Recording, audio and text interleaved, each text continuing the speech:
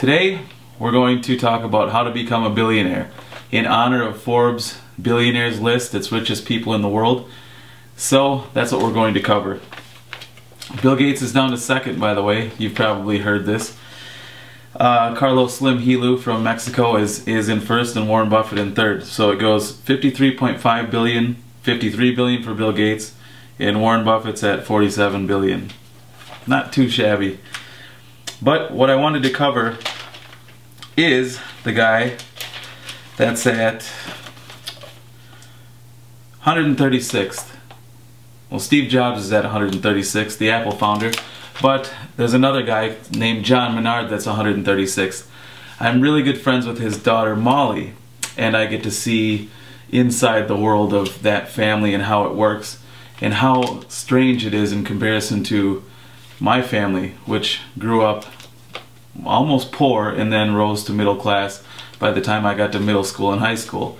So it was it's an extraordinary difference. I mean, with Molly, I've been in places where it was only me, her, a couple friends, Peyton Manning, a guy from Desperate Housewives who apparently is the gardener on the show. I don't watch it, and a couple other celebrity uh, basketball players and football players from the Indianapolis Pacers and Colts. So I, I get to travel in that world quite often, and it's interesting, especially being an entrepreneur. I like that sort of world anyway.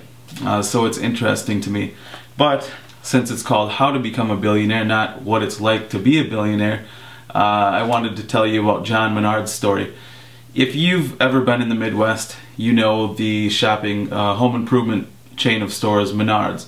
Well, he's the founder and 100% owner of Menards. And how he got started is he just started building pole sheds and then working up from there. So he'd build pole, build pole sheds and then he realized, well, I could just sell some lumber as well. So he started selling lumber and then he started selling other things like hammers, nails, things like that. So then he started his first store.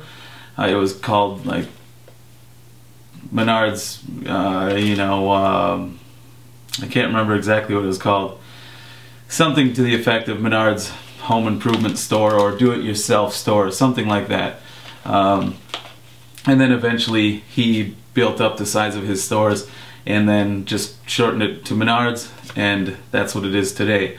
Now they have like 260 stores across like 15 Midwestern states. But that would have made him rich. But what made him a billionaire and he is at five and a half billion right now. At the peak of his net worth, he was 7.3. That was like three years ago, right before the recession. Uh, so clearly, being a home improvement chain, his net worth went down to it was four billion, and then it rose back up. Now it's five and a half. Next year it'll probably be back up to seven or so. But Steve Jobs and him tied, so pretty good company. But how he became a billionaire is he tapped into something that people weren't already doing. Up until the point where he started uh, having success with his home improvement stores, people largely had other people do their home improvement stuff for them. They would hire a construction worker and have that guy add an addition to the house or build new cabinets or something like that. Well, John Menard's philosophy was people can do it themselves. So if I supply the equipment and people that could teach them what equipment they need, they could theoretically do this stuff themselves. And now you know there's a whole movement of people who are do-it-yourself guys. I mean, Bob Vila had a successful TV show showing people how to do it themselves. And the home improvement chains uh, like Home Depot, Lowe's, and Menards all tapped into that and became huge powerhouses in the home improvement market. So, how to become a billionaire? For one, right place at the right time. But two, it's foreshadowing what society is going into. Clearly, he knew that society was going to become a do-it-yourself uh, sort of society. And he was right. Uh, and he's really succeeded from it.